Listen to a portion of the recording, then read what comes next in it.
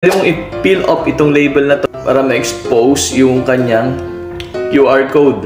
And then, dun sa ilalim mga ka-fast track ng container natin, Piniga and then clinose yung cup niya. Hello and kamusta po mga kapastak and welcome po muli dito sa ating channel. For today's video mga kapastak, ang i-review po natin is ang ating Shell AX7. So paano nga po ba natin malalaman kung alin dyan ang genuine at alin si fake? Or paano tayo bibili ng genuine na Shell AX7 lalo't wala tayong katabi or pagpaparisan? So we have two kinds of Shell AX7. The one on my left, yung ating genuine. At yung ating right is yung ating fake na Shell AX7. So nilagay ko siya sa right because nothing is right dito sa Shell AX7 na fake. So samahan nyo ako mga kapastra and ipakita ko sa inyo pa paano natin ma-check visually and physically the genuine Shell AX7. So una nating i-check is yung kanyang bote o yung kanyang container. Ah, Diyan sa container niya, yung kay genuine, makapal yung plastic. Samantalang kay fake, manipis. And doon naman sa mga glitters, pareha silang meron. Ang pagkakaiba nila sa mismong kulay is yung blue ni genuine. Mas matingkad yung blue niya. So as we go down dito sa kanyang label, parehas na silang glossy. Ang pagkakaiba nila si genuine, lighter color, yung kanyang print. Samantalang si fake, dark, yung kanyang print. So, paano ba natin pwede madaling i-makita? Pansinin nyo yung 40 na font dito sa ilalim. Sa fake is hindi na makita. Samantalang kay genuine, kita pa. So, yun yung pinakamadaling paraan para magitan ng label check. And then dun sa pinaka-emboss niya, dun sa container niya, for the grip ng container, yan. Yung kay genuine is mataas pa. Mantalang kay fake is medyo manipis. And then si genuine provide na rin or nag-upgrade na rin, naglagay na rin siya ng QR code dito sa loob. So pwede mong i-peel off itong label na to para ma-expose yung kanyang QR code. Yan. So, yan yung verification para doon sa legitimacy nung nabili nyo na Shell AX7.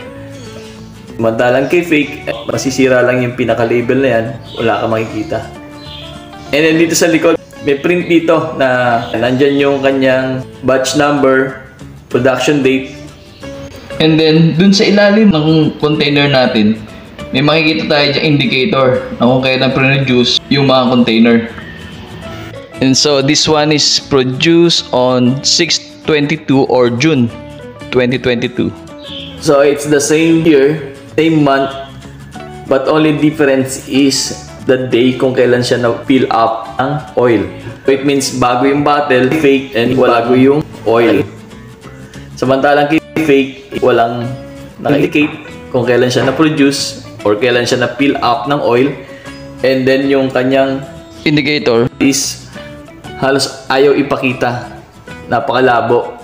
Balik tayo din sa likod. Itong pinaka-label niya sa likod is pwede rin siyang ma-peel off or maiangat. So, ma-expose sa atin yung kanyang precautions. So, nakasaad dyan babala o warning in different language. Dito mga kapastak, naka-provide in case uh, a contact sa skin, yung oil or maswallow, they advise us to call the Poison Control Agency. Meron din si Shell Fake na QR code. But it only direct you sa kanilang website.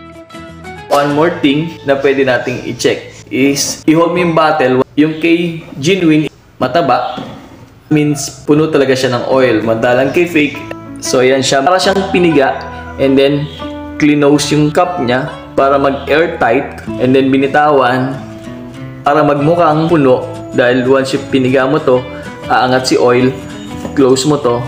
So yung level niya nandito. So itong way ni fake para mabawi dun sa mababang presyo na ibinibigay nila. So let's proceed na dun sa mismong laman ng ating Shell AX7.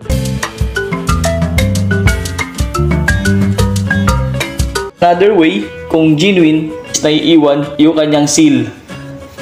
And kay fake, obviously, sumama dito sa pinaka-cup. Also, mga fast is yung seal niya sa oil para hindi ito matapon.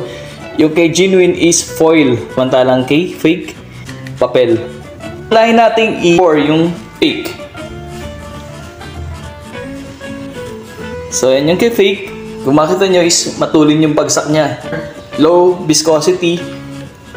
Mababa yung kanyang lubricants. Ito yung kay genuine. Ayan, ganyan siya kalapot. Yan, so mga kapastak, although magkamukha sila ng color, medyo light lang ng konti itong si Genuine.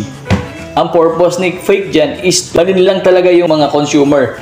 But one thing for sure, as I told before, si fake, hindi niya kayang makuha lahat ng formulation na meron si Genuine. And with regards to smell test mga kapastak, si fake is ang sakit sa ilong. Amoy galing siya sa makina, hindi siya galing sa bote.